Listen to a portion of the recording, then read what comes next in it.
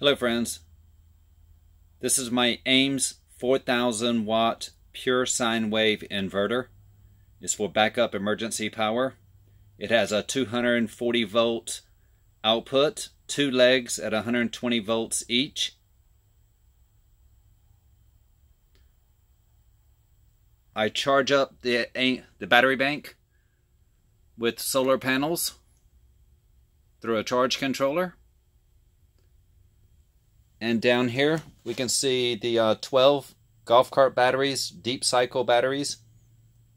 This is configured in a 12 volt configuration. They're used to power through the AIMS inverter.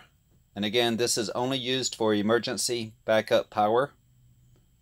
I keep it offline at all times, and in case of an emergency, I can turn on the AIMS inverter. I can flip the master on off switch right back here in the back.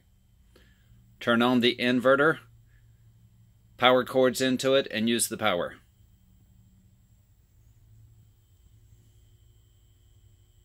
This is the model number if you're interested. I've been very, very pleased with AIMS products. They're heavy duty. It's not like the cheap stuff that comes from China that blows out as soon as you put a load on it. AIMS makes excellent products and can handle heavy loads.